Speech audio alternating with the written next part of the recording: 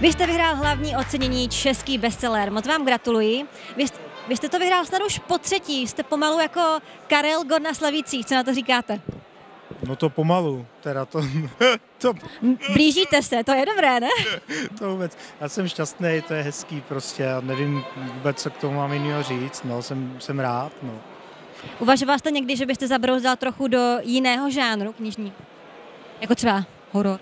Ne, vůbec. Vůbec. Mě, mě baví psát knížky o lidech a jejich životních osudech a mm, žádný jiný žánr mě nezajímá. Jakože bych třeba začal psát pohádky nebo, nebo krimi, to vůbec. Já, to, ne, ne, ne, ne, to, to, to, to, to ne. Sedí vám to, co píšete, to je super, super. Mohl byste nám třeba říct, uh, jaký byl váš nejlepší víkend v životě, tematicky podle knihy? Nejlepší můj víkend je vždycky ten, kdy můžu pracovat. Eh, Já jsem šťastný, když jako můžu psát, když mě nikdo neruší, nikdo po mně nic nechce a nikam nemusím jet a nemusím nic zažít. Tak to je pro mě nejlepší. Ve své divadelní kanceláři jsem rád o víkendu. Je to pro vás i takový okamžik štěstí, předpokládám. No přesně tak, on většinou to není jenom okamžik, je to dlouhý, takže to je taková jako vlna. No.